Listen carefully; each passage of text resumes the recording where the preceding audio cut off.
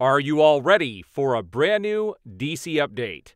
All right, today's update is mostly going to be factual stuff. So I'm going to show you guys some things here today on all the DC goodness that has been being passed around the internet over the last couple of days. And most of this is actual factual stuff. Uh, there might be a little bit of speculation at the end. I'm going to start talking about the small stuff first, and I'm going to end with the bigger stuff at the end. And just to give you an idea of what I'm going to talk about in this video, I've got the villain of the Flash. I actually have a, a thing I'm going to show here in a minute. Uh, we're going to talk about the Shazam 2 trailer, the Batman Oscar nominations, uh, and how and then James Gunn how he's treating the fans, and then we're going to talk about the James Gunn slate that is scheduled to be released this month, and then I'm going to talk about some DC Comics news at the very end. So the first thing I want to talk about here is the Flash villain. We haven't heard a lot a lot about the villain. There really was never a mention of the villain in the Flash. Everyone assumed it was going to be Dark Flash, and that's exactly what we have. And here's the first official look at the character from the film. Now, honestly, I'm not digging this look. It looks like something out of a CW show.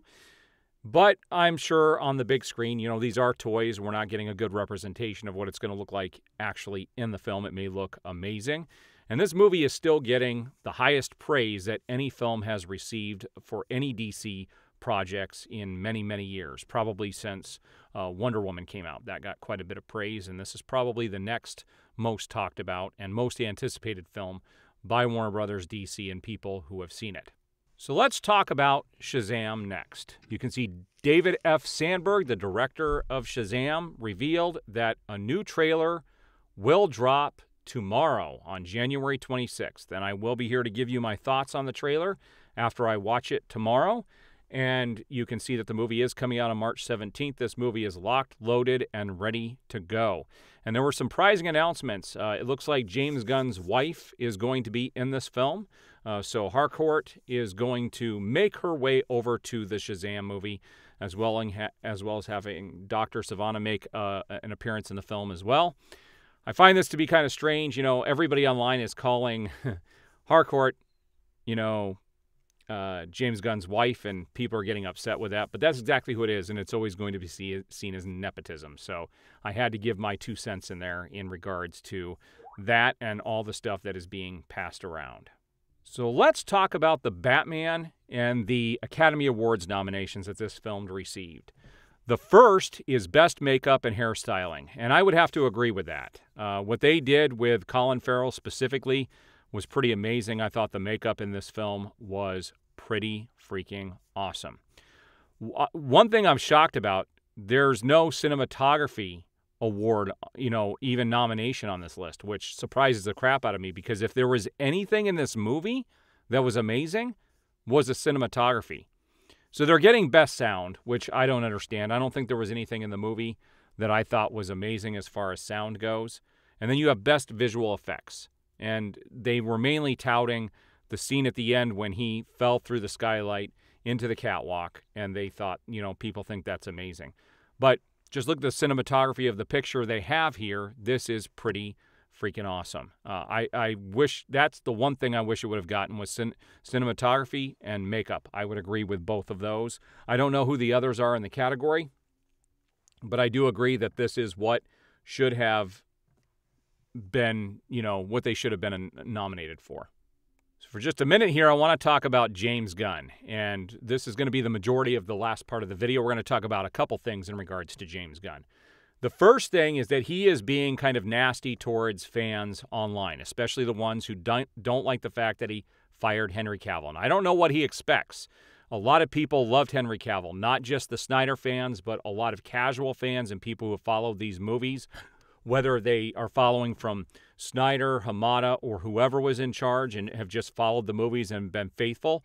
A lot of people are upset that Henry Cavill was let go. And I don't think he's going to hear the end of this. And one thing I've forgotten to mention in my previous videos is I do believe that the first movie that they release in his new slate has got to be an out of the park, amazing film, or it's over. It'll be the most important, probably the most important film that Warner Brothers has ever released. A lot is going to be riding on that film, and everyone does expect it to be Superman. And that is going to be critical if they're going to make this work. And if that movie is not all it's going, you know, cracked up to be, then it's over. Uh, I don't think there will be a future for DC until another company comes in and takes it over. But there is more in regards to in, into in regards to well, let me real quick when he's being nasty to fans, let me talk about what I mean by that. Somebody was using the hashtag of Cavill is Clark.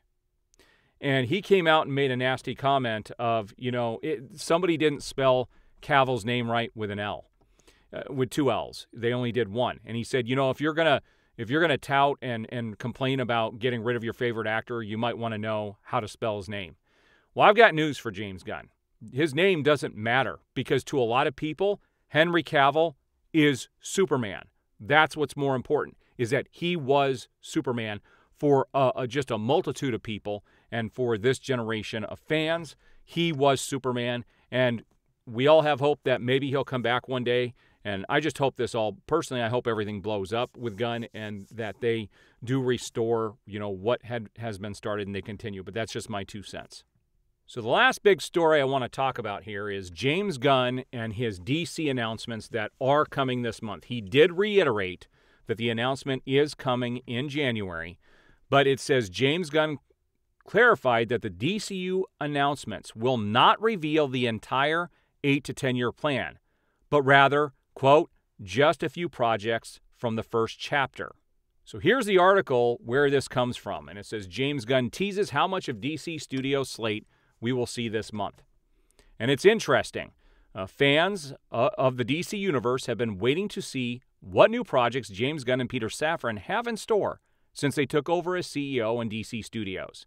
It's not clear whether the projects that will be announced include previously reported projects, such as a Superman reboot written by Gunn or a second season of Peacemaker, or if they were or if they will be entirely new movies and television shows for the new or for the HBO Max streaming platform.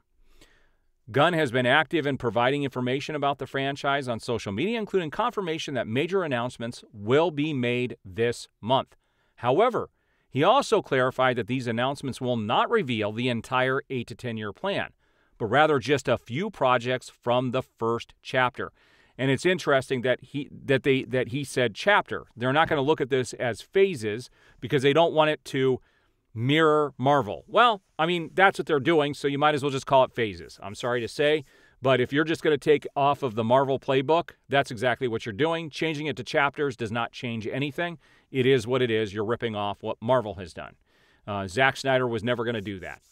He was doing his own thing, and the studio just blew it all up. So they're going to have to live in the bed that they've created. And here's the interesting thing uh, this is the actual tweet that this came from. Somebody asked James Gunn, Sir, please tell us when will you and or he mean when you will announce the DCU 8 to 10 year slate projects. He responded with, "I'm not announcing the 8 to 10 year slate, just a few projects from the first chapter." So this is interesting. Just the first chapter. Only a few projects. A few usually means two. So what are they going to announce? they they made this seem like this was going to be a big announcement coming up. Uh, James Gunn has been adamant about that that there was a big announcement coming, but it doesn't seem like it's going to be that big. It's only going to be a few movies and probably the Superman movie and, and something else. I don't know what they are going to announce, but we're not getting much of anything with this announcement. So I don't expect it to be this big presentation. It's probably going to be some tweet that he does to announce this, and maybe there might be a little bit of media coverage on it, but I don't think it's going to be any big, you know, aha moment or big presentation that's going to happen. I maybe I'm wrong, but that's what he indicates when he says a few projects from the first chapter, which means we're not going to even get the whole slate of the first chapter. So it looks like they're going to be calling these chapters, which is interesting. And we're going to see where this leads in the future. So everything I've talked about up until this point, uh, you know, other than the few things I added in of my own personal feelings, all factual stuff that has been, you know, kind of floating around. Now, the last thing I'm going to talk about today is what's going on with the comic books. And they did announce, you know, they have the whole new dawn of the DCU going on right now. And I'm going to show you an interesting story about something that is going to be happening and was just announced today. So, Tom Taylor came out on Twitter and said a big announcement was coming today. And you can see seven hours ago, he announced that the Justice League has been disbanded. It is time for a new premier superhero team in DC Comics. Excited to announce I'm teaming up with my friend, one of the greatest artists on the planet, Nicola Scott Art, on Titans, Dawn of DC. So it's interesting. They are not bringing back the Justice League. It has been disbanded. They are not coming back. I think that is ridiculous. Uh, that you know they're pushing away from their fan base with their main characters and going with some offshoot characters. And I'm not saying don't have Titans, but you're still ignoring your main fan base. And I, I have a feeling that this dawn of the DC is again going to be another big kind of bomb uh, most of these events recently have not been all that great with DC, and I don't see them getting any better. So now I'm going to get on my soapbox here for a minute because of something I saw on social media yesterday.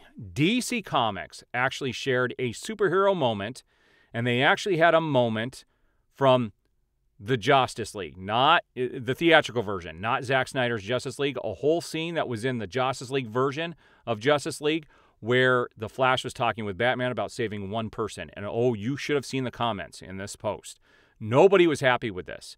And it's interesting that they're peddling something they know the main, you know, the, the biggest group doesn't even. The, Zack Snyder's Justice League was far superior to the theatrical version. I've never seen one person that said the theatrical version was better. Now, you can argue which one they they want to make canon. I think it's clear, pretty clear at this point they're going to go with Justice League, which I think is an abomination. Uh, but man, how tone deaf does a company have to be to turn away from their fan base? They're not doing Justice League comics.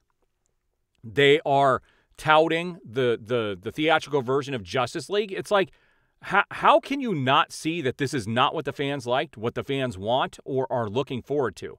I just do not understand how this company still seems to be tone deaf. And it's no longer just Warner Brothers Discovery, it's DC Comics as well.